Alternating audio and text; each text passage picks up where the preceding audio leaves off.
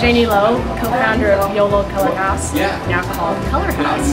Uh, Colorhouse wanted uh, an Earth Day project, a volunteer project, um, and we knew that OEC um, was redoing their offices, and so we thought it would be a perfect uh, opportunity for us to come and help out with paint, donate some paint to the offices, and also um, help with painting.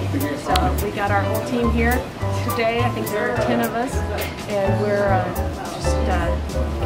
it done.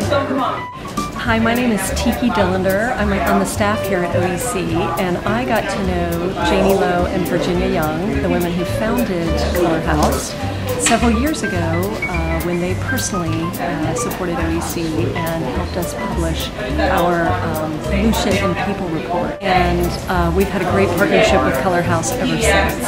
Uh, the women who founded Colorhouse have a deep commitment to um, reducing toxics in the world and helping us have a cleaner environment.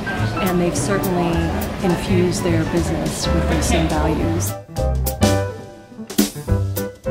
We have been a, a supporter of OEC for uh, probably about nine years. Um, we love the mission, we love uh, OEC, it really gets things done. Um, it's very results based um, and it feels good to support an organization like this. You guys were just just the capper on this because this was this actually just puts that finishing touch on it, and we're we sincerely are so so grateful. So thanks everyone.